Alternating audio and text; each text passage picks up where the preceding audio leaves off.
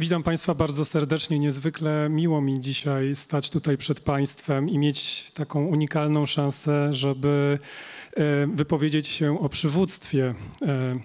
Proszę Państwa, może ja zacznę od tego tak na szybko, że jechałem dzisiaj na to wydarzenie z bardzo dużą taką nadzieją i ciekawością, bo dzisiaj podczas e, impaktu poruszamy, proszę Państwa, takie naprawdę ważne tematy. Tak? Mówimy dzisiaj o zielonej transformacji, mówimy o wyzwaniach e, ekonomicznych, które e, są przed nami oczywiście.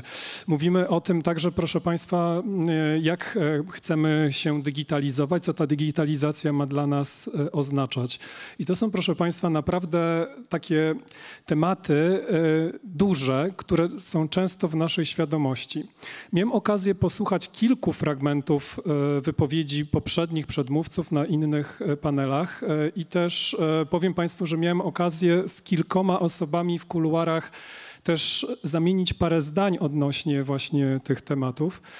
I wiecie co Państwo, jest taka jedna rzecz, nie wiem czy zwróciliście uwagę, my o tych dużych tematach bardzo często mówimy, proszę Państwa, w kontekście dylematów, tak? Żeby dać Państwu taki, na przykład, taki przykład bardzo konkretny z dzisiejszych e, różnych dyskusji, w których brałem udział. Na przykład z jedną osobą, proszę Państwa, rozmawiałem o tym, w dzisiejszym świecie digitalizacji, tego w jaki sposób chociażby zmienia się retail. Ja reprezentuję IKEA, więc branżę retailową e, i e, postępuje bardzo duża, e, w bardzo dużym tempie proces automatyzacji. Wręcz dzisiaj pojawiają się już nawet takie punkty sprzedażowe, proszę Państwa, które nie wymagają w ogóle obsługi. Rozmawiałem o tym z kimś w kontekście takim, no dobrze, no, automatyzacja, digitalizacja, procesy, do których już tak naprawdę pracownik często nie będzie potrzebny. No ale co w kontekście takich, proszę Państwa, punktów sprzedaży fizycznych? Co w takim razie robić, czy jak pracować z ludźmi, z pracownikami, których nadal w organizacji posiadamy? Z inną osobą, proszę Państwa, też rozmawiałem o pewnym dylemacie bardzo konkretnym. On dotyczy chociażby tego, że dzisiejsza sytuacja makroekonomiczna to jest e, bardzo często wyzwanie dla wielu z Państwa. I też bardzo jestem ciekaw, czy nawet Państwo w swoich organizacjach mieliście takie dyskusje, ok, potrzebujemy się rozwijać, potrzebujemy inwestować, nasi ludzie potrzebują podwyżek. No tak, ale inflacja, stopy procentowe, jak zabezpieczyć e, oczywiście mm, przetrwanie e, organizacji w dłuższym okresie. Proszę zobaczyć, proszę Państwa, że to są wszystko dylematy, pewnie moglibyśmy ich dużo więcej wymieniać które na swój sposób dotyczą nas wszystkich. A to, co jest ich cechą taką bardzo charakterystyczną, jest to, że zawsze w centrum takiego dylematu, proszę Państwa, jest człowiek. I ja nie mówię teraz o takim człowieku w roli, w organizacji, w jakichś strukturach, w instytucjach, tylko o takim, proszę Państwa, człowieku prawdziwym z krwi i kości takim człowieku, który ma konkretne swoje potrzeby. I też, proszę Państwa, super się cieszę, że dzisiaj na e, Impakcie my też mówimy o takich aspektach, jak chociażby zdrowie psychiczne, well-being, ogólnie nasze zdrowie, ale też, proszę Państwa, przywództwo.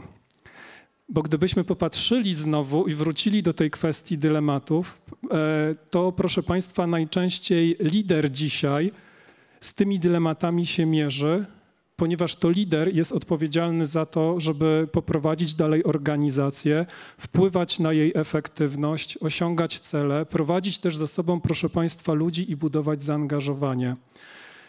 Zobaczcie Państwo, jak dużo co, i co to oznacza dla każdego takiego lidera.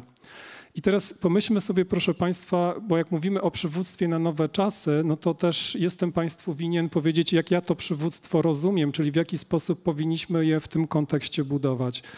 I oczywiście zobaczcie Państwo, że dla takiego lidera, który ma wokół siebie ludzi, który potrzebuje tych ludzi motywować, angażować, on potrzebuje zawsze, i to jest oczywiście bardzo ważne, wiedzy dotyczącej biznesu, wrażliwości, świadomości, rozumienia szerszego kontekstu, w którym działa.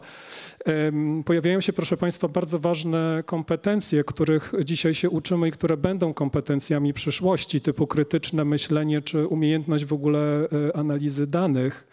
Natomiast e, trochę rzadziej, moim zdaniem, mówimy o innym, bardzo ważnym aspekcie, o którym powinny pamiętać wszystkie świadome organizacje, które chcą odnieść sukces, które chcą być organizacjami zwyciężającymi. I to jest, proszę Państwa, budowanie wśród liderów dużej wrażliwości, wzmacnianie empatii, słuchania, umiejętność budowania dialogu z ludźmi, z którymi lider ma do czynienia na co dzień.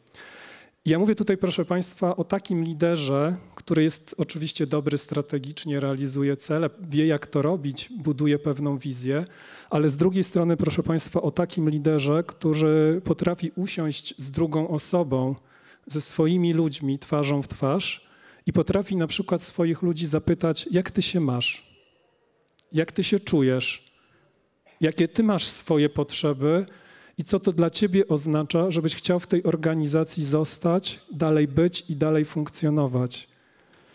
To jest, proszę Państwa, coś, co ja nazywam dzisiaj taką unikalną kompetencją, i pewnie tam jest bardzo dużo elementów, o których możemy sobie porozmawiać już w kuluarach, bo nie będę miał na to czasu. Ja to nazywam, proszę Państwa, wrażliwością lidera. I teraz zobaczcie Państwo, wrażliwy lider to nie jest tylko lider, który jest wrażliwy na swoich ludzi, ale z drugiej strony ta wrażliwość odnosi się do niego samego, do traktowania siebie jako człowieka i rozumienia, że ja też jestem człowiekiem. Ja stojąc przed Państwem tutaj dzisiaj, ja też czuję stres. Ja, żeby tutaj przed Państwem wystąpić, też potrzebowałem zadbać o siebie, chwilę odetchnąć, wyjść na powietrze, wiedząc, że to też jest dla mnie pewien wysiłek. I chcę Państwa też zapytać, bo na pewno większość z Was tutaj siedzących na sali jesteście liderami. W jaki sposób Wy o siebie dbacie? Co robicie Wy dla siebie, żeby być w stanie z ludźmi na co dzień pracować? Bo wiecie Państwo, kogo dzisiaj pracownicy, e, ludzie, z którymi dookoła pracujemy, których jako liderzy e, potrzebują? Oni potrzebują kogoś, kto stoi mocno na dwóch nogach, kto dobrze się czuje, kto się czuje wyspany, zdrowy, kto ma chęć przyjścia do pracy, kto potrafi dzięki temu też budować w bardzo świadomy sposób zaangażowanie swoich ludzi, kto jest w stanie usłyszeć potrzeby, zareagować, kto jest, mówiąc wprost, osobą bardzo uważną. jeszcze jedna ważna rzecz. E, taki lider, który właśnie stoi mocno na dwóch stopach, który rozumie swoje potrzeby, potrzeby innych pracowników, to też jest, proszę Państwa, e, osoba, która najczęściej potrafi się kierować miłością, a nie lękiem. I to jest jedna z takich podstawowych umiejętności, takich kierunków, dzięki których dzisiaj prawdziwi liderzy mogą e, odnosić sukcesy. My w IKEA, e, i to też mogę Państwu powiedzieć, e, od kilku lat bardzo mocno inwestujemy w leadership, wierząc, czyli w przywództwo, wierząc, że to jest ta kompetencja przyszłości, która pozwoli nam jako organizacji być organizacją zwyciężającą. Jeżeli ktoś się z Państwem zgadza, nie zgadza, zapraszam do rozmów kuluarowych. E, ja mam dzisiaj bardzo ograniczony czas, ale chciałbym Państwa jeszcze z jedną rzeczą zostawić, taką od siebie, taką bardzo prywatną, podzielić się czymś, co mam teraz bardzo mocno w głowie, e, jako rodzaj takiego, my mówimy o tym food for thought, tak? czyli takiego trochę pokarmu do pomyślenia dalej. E, proszę Państwa, według mnie to, co jest dzisiaj staje się najważniejszą rzeczą i to jest duża zmiana, która się odbywa na naszych oczach, jest rekrutowanie liderów nie poprzez patrzenie na konkretne doświadczenia liderskie, ale rekrutowanie właśnie poprzez te miękkie umiejętności dotyczące tej wrażliwości, o której Państwu powiedziałem.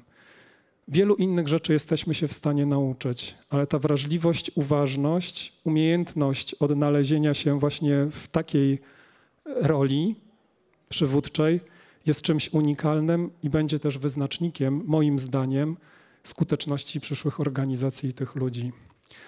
Bardzo serdecznie Państwu dziękuję. Mój czas dobiegł końca. Jest mi to dla mnie wielka przyjemność wystąpić przed Państwem i życzę Państwu wszystkim udanych kontaktów, dalszych e, ciekawych interakcji, a także e, wykładów oraz wielu ciekawych refleksji po tych dwóch dniach impaktu.